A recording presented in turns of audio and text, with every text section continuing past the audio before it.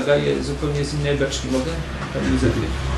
Mianowicie tak, proszę, pana, proszę Państwa, jedną z ułomności e, polskiego, polskiej polityki jest to, że my budujemy koncepcję na przyszłość w oparciu o rzeczywistość dzisiaj nam znaną i tą, którą w jakiś sposób rozpoznajemy.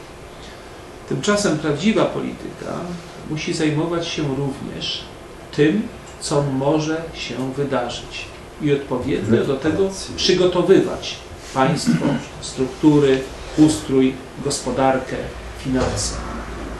Otóż moim zdaniem jesteśmy na skraju naprawdę radykalnych zmian w systemie światowej polityki, światowego systemu i gospodarczego, i finansowego.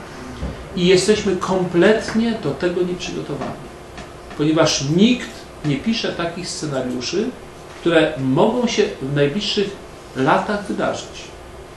To jest ułomność Polski, którą takie zespoły jak my musimy wypełniać. Nie, nie uciekniemy od tego. Podam Państwu prosty pierwszy przykład, taki oczywisty dla wszystkich. Polska nie ma obecnie żadnego systemu rezerw strategicznych.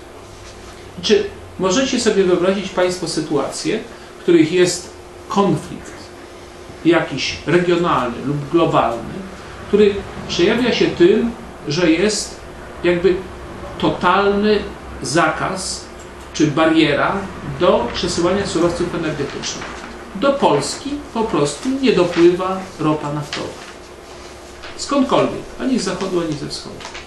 Czy jesteście Państwo w stanie uświadomić sobie, że w ciągu roku w Polsce mamy głód, ponieważ nie zalejemy ropy do ciągników, które mają zaorać pola i obsiać je? Rozumiecie to Polski, państwo? my po prostu Polski nie mamy.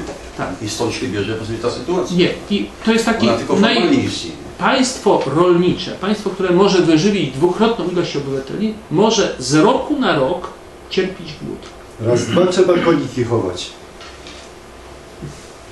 Pani mogłaby na chwilę wyłączyć. E, Tak. Ja chciałem powiedzmy coś nawiązać